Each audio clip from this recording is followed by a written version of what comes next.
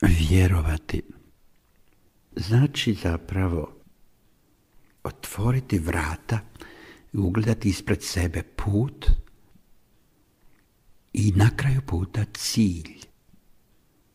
Kad kažem ja vjerujem u Boga, tad se ja otvaram toj svemogućoj stvarnosti i osobi Boga. Vjerujem u njegovu dobrotu, zato vjerujem. Ne mogu vjerati u zlog Boga, Boga koji mi prijeti osuđuje, nego Boga koji me ljubi i privlači. Ja vjerujem u takvog Boga.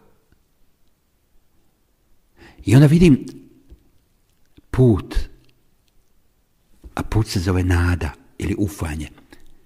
I krećem tim putem zašto? Jer bi htio doći do toga Boga. I htio bi ga uhvatiti za ruku, uhvatiti pod ruku, nasloniti glavu na njegovo rame, zagrlit ga i reći konačno, jedno smo. Vjerovati dakle znači otvoriti vrata, a nadati se ili ufati znači krenuti na jedan put. Na taj put se može ići samo ukoliko gledam na cilj. A cilj je ljubav svemoguća, istina svemoguća i dobrota. I gledam ju ispred sebe. I ona me sve više privlači. Što više gledam Boga, to čvršće i sigurnije idem putem prema Bogu. Drugim riječima, vjera raste onda kada mi gledamo Boga. Kada sve više i više svojim duhovnim očima promatramo, razumijemo, svačamo i počnemo čeznuti. U nama se rađa motivacija. I hoćemo svom silom krenuti. I to kretanje, to hodanje, to trčanje, to je nada. Učvrsti nam nadu, učvrsti naše korake, da trčimo. I onda dolazimo do ljubavi, a ljubav je sjedinjenje sa osobom koja nas privlači i koja nas ljubi. Zanimljivo, dakle, vjera je otvaranje vrata.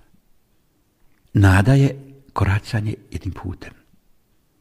Ljubav je sila, snaga, kao benzin za auto, kao struja za sve aparate po kući električne. Ljubav me dakle privlači. Ona mi daje snagu da vjerujem još čvršće. Da još čvršće ufam se, idem, trčim. Ona me privlači da dođem onome koji je snaga moga života. Prema tome, dakle, kad kažem vjerujem, onda ja već imam Boga, ja ga već gledam.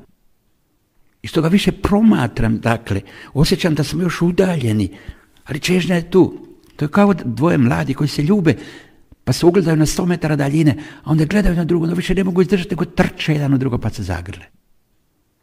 Dok gledaju jedno u drugo, to je vjera. Vjera koja se hrani tim pogledom. I zato trče. I dok trče, to je nada.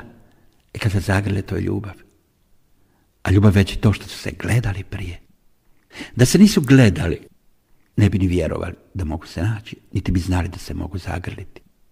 Ne bi bilo ni nade, niti vjere. Vjera dakle zavisi zapravo ljubavi. Ako gledam u dobro, tada mogu vjerovati. Ako gledam u zlo, tada sam razorio vjeru.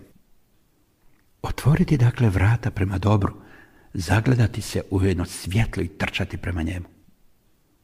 Zato vjera, ufanje i ljubav idu zajedno i oni se ne mogu odijeliti jedno od drugog. Zanimljivo, zar ne, poštovani slušatelju?